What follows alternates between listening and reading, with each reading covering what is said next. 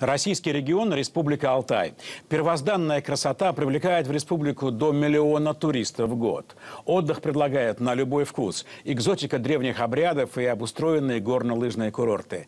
Так чем еще живет Республика Алтай, узнала Анастасия Саховская. В Горном Алтае каждую минуту жалеешь, что нет крыльев, хотя здесь они словно вырастают. С высоты птичьего полета таежные просторы на севере и степные, почти инопланетные пейзажи на юге, на самой границе с Монголией. Край неземной красоты и место первозданной стихийной силы. Весь год огонь кормит алтайцев. Раз в год алтайцы кормят огонь. Ене болған алтайдың енші сұрап үйрейдім чөк қайрахан. Благополучие, семье, быту. Корова отделились хорошо, барана было больше. Чига-Байрам – белый праздник, что-то вроде Нового года по лунному календарю. Моление вершинам гор, перевалам и рекам и подношение духом природы. Конечно, звучит голос Алтая.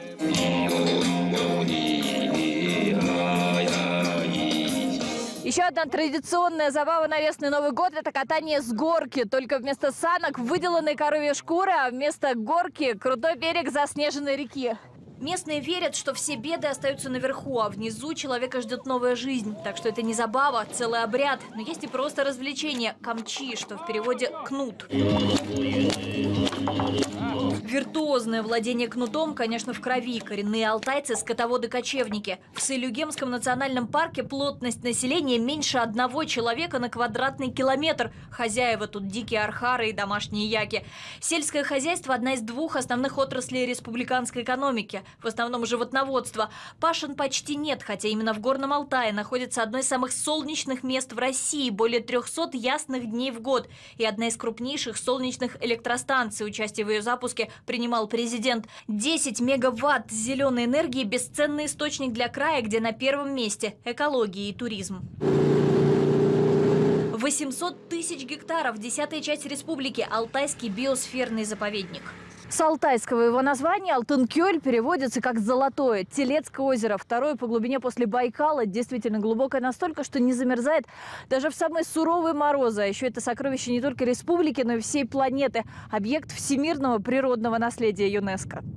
Глубина более 300 метров. Озеро прогревается за лето и как гигантский термос греет весь год. Здесь самое теплое место в Западной Сибири. Уникальный озерный микроклимат и кристально чистая вода. Очень вкусная вода. Еще в эпоху планового советского туризма по берегам озера проходили все союзные маршруты. Сейчас прокладывают новые. Заповедный поселок Яйлю принимает по 70 тысяч туристов в год. Но есть и обратная сторона популярности. Большой поток туристов, он также, кроме дохода местному населению и Э, познавательного туризма, он несет еще такие негативные последствия, как мусор, э, это различное загрязнение э, нефтепродуктами озера. Задачу наряду с Волгой и Байкалом сохранить и Телецкое озеро поставил в декабрьском послании Владимир Путин. В республиканском парламенте уже разрабатывают законопроект об охране жемчужины Алтая. В год экологии готовят и заявку мирового уровня на создание первого в Россию геопарка ЮНЕСКО. В него войдет 50 объектов, в том числе, например, место для алтайцев сакральное, слияние горных рек, зеленоватой Чуи и бирюзовой Березовой Катуни. Документы должны подготовить к октябрю. Это даст территории новый статус и приток гостей, прежде всего иностранных. Сейчас в Горный Алтай приезжает 2 миллиона человек в год, но в основном автотуристы из соседних Кемерово или Барнаула и самый большой в республике подъемник на высоту более тысячи метров на озере Манжерок, куда активнее используется, когда тепло, как панорамная канатная дорога. Хотя, казалось бы, эти горы просто созданы для горных лыж. И вот в течение 10 лет уже э, четко правительство понимает, что основное направление развития – это туризм. У нас прекраснейший регион, у нас красивейшие места.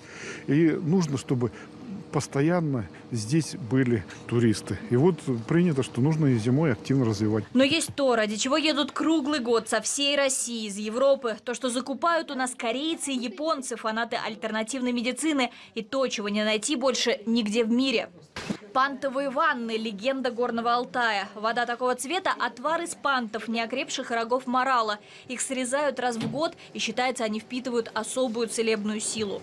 Это концентратор его сил, его энергии, мудрости природы, а, тайны трав, которыми он питается, а, энергетики воздуха горного Алтая. И все это призвано передать человеку. Оленьи рога еще и традиционный сувенир, как и резные клыки дикого кабана.